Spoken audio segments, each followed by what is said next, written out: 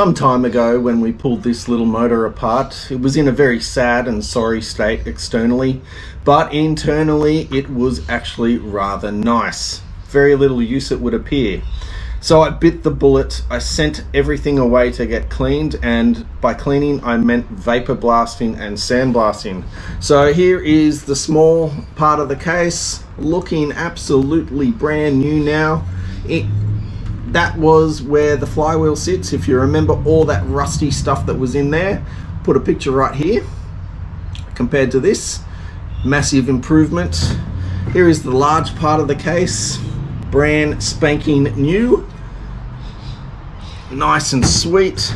The cylinder head, both sides, the world's smallest inlet manifold. Look at that. Looks like it's a brand new one and for this one I got sandblasted. So they mask it all up on inside so it doesn't damage the bore and just clean all the rust externally. Now if you're interested in getting this done I got it done by a local mob here in Sydney and it was about 300 bucks. Well worth it I think considering how rare the little bike is and the effort that I've already put in. What we're about to do before we start reassembling the motor is get it ready for reassembly and by that I mean we might attack it with the die grinder. See if we can squeeze out a few more horsepowers or maybe a few extra kilometers an hour out of it. As you're all aware, the tiny little Motocompo was speed limited apparently to 30 kilometers an hour.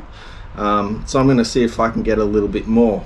So we'll get the die grinder out. We'll do a bit of case and port matching with the cylinder and the cases. Uh, we might go at this little guy and see if we can squeeze a little bit more out of this. Leave the cylinder head alone and hopefully, hopefully, hopefully it pays dividends in the end. So let's get to it.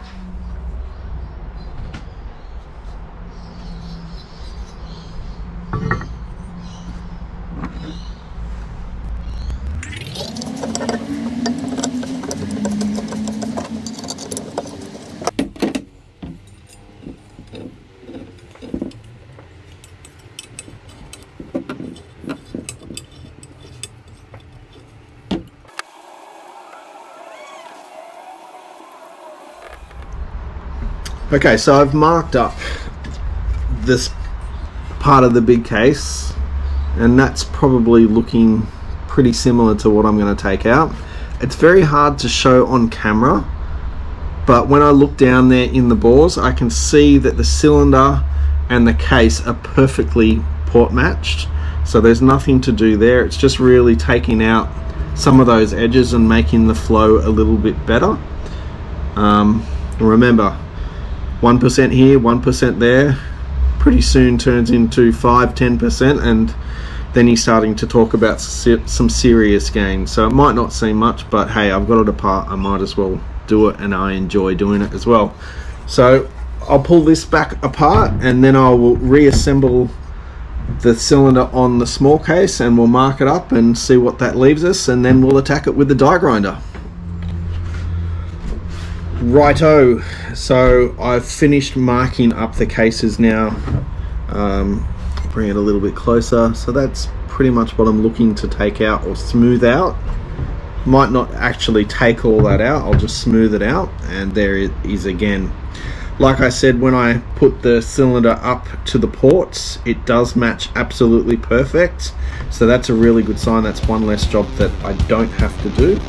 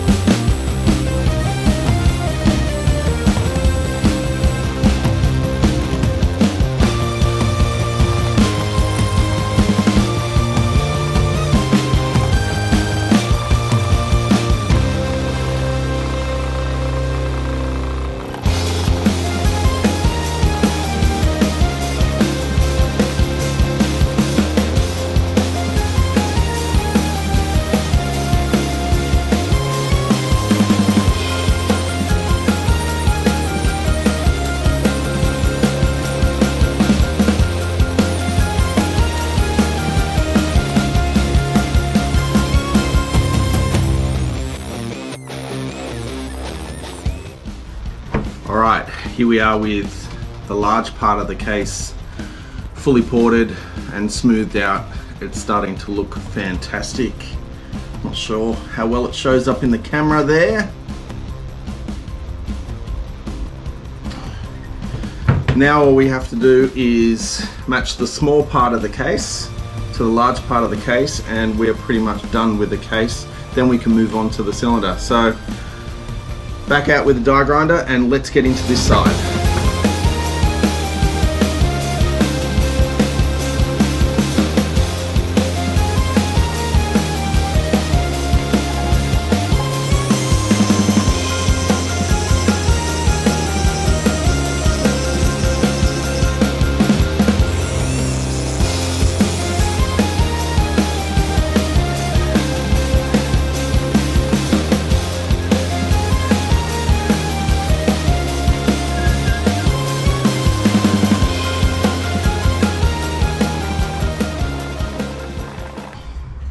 Bit of time on the die grinder and the little hand file and this is what we've got. So just taking out all those sharp edges smoothing them off allowing the air to flow through from one side to the other. Much smoother much straighter with little turbulence as possible should generate a little more horsepower. Well hopefully that's the theory anyway now I just got to smooth it out a little bit more with the other die grinder and the little polishing bits and this side and this part of the case is done. Then we can move on to the cylinder head.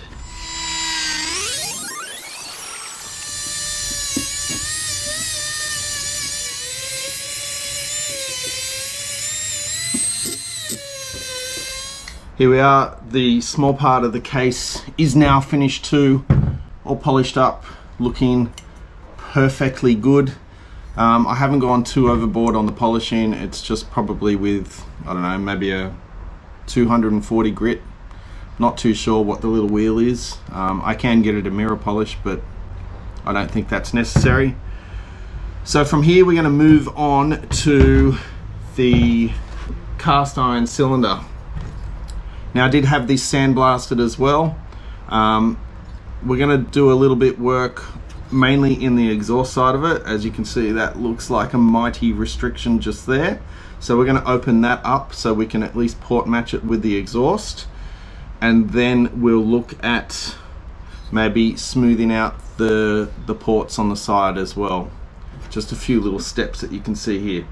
But we'll put it together. We'll offer it up and see where we're at okay moving on to the cylinder now that we've got the cylinder bolted up to the case, we can start to see where the modifications can happen there. Now the main areas of concern around the ports. So right here, there's a nice nasty step there, and that's in all of the ports around the cylinder, all three of them. So we'll smooth them out, remove that step, which will then remove the turbulence and hopefully that air can transfer into the cylinder a little bit faster. That should give more power. That's the theory. Then we'll move on to the exhaust port.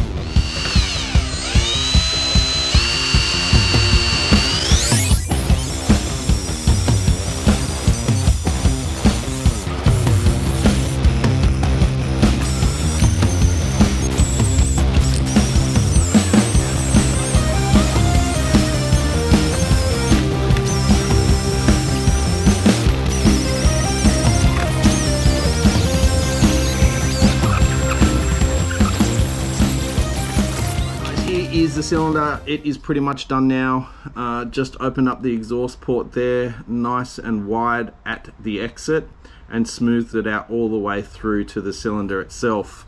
Now we've smoothed out the step on each one of those ports around the side which will dramatically increase maybe the way that the air moves through into the cylinder itself. So from here I am just going to Put the top of the cylinder on a sharpening stone to make sure it is perfectly flat and we'll do the same with the cylinder head. Uh, I guess the benefits of that is maybe it will increase the compression just a tad and maybe we'll get a little bit more horsepower out of it as well. When I say horsepower I mean like 0.2 horsepower or maybe 0.1 I don't know so it's going to be minuscule but hopefully it all counts Here is the cylinder head. Now this was actually pretty flat, I'm quite surprised. But the cylinder itself um, was not, so it's pretty good now. I'm gonna leave it at that. Now we've got two more steps to go before this motor is ready to go back together. Um, one is to paint this cylinder, get it repainted so it won't rust, and the other is to rehone it. Um, so what we'll do is we shall rehone it first. Now to do that, I have bought this little tool here. It is a brake cylinder honing tool. Um, considering most brake cylinders are about the size of this bore, I thought it would be the perfect tool to do the trick. And as you can see, when it opens up, it is definitely big enough. Um, we close it up and we drop it inside. It is going to do the job just sweet. In fact, I would say it will do the job absolutely perfectly. Now, before you rehone the cylinder, you want to make sure it is extremely clean. To do that, I've used some Prepsol and a paper towel, and I've blown it out quite well. Um, some mineral oil is the trick here, and I'm using just the mineral oil that I had light around, and we're going to coat the inside of the cylinder nice and sweet, really coated up really well. More oil the better, I reckon. I'm gonna really lubricate it.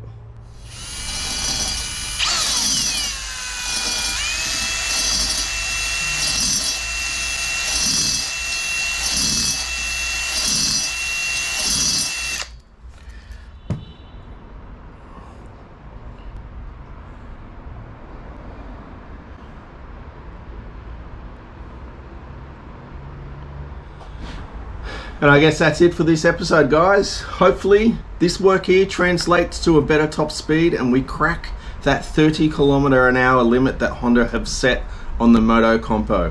And the Motocompo goodness is just that little bit more gooderer. Again, guys, like, subscribe, leave a comment, help that channel grow. It's really, really appreciate your support. See you on the next video.